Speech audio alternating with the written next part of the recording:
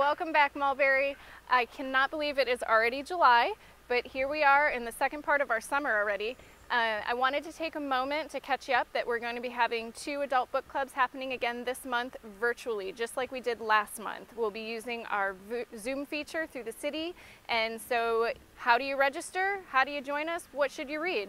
Well, registration's easy. Go to mulberrylibrary.com and click on our event calendar.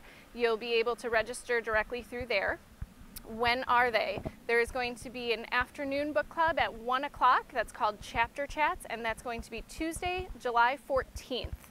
And we will be talking about Life After Life by Kate Atkinson. And then that following Thursday on the 16th, we'll have our evening book club at 6:30 and that's called Who Picked This Book?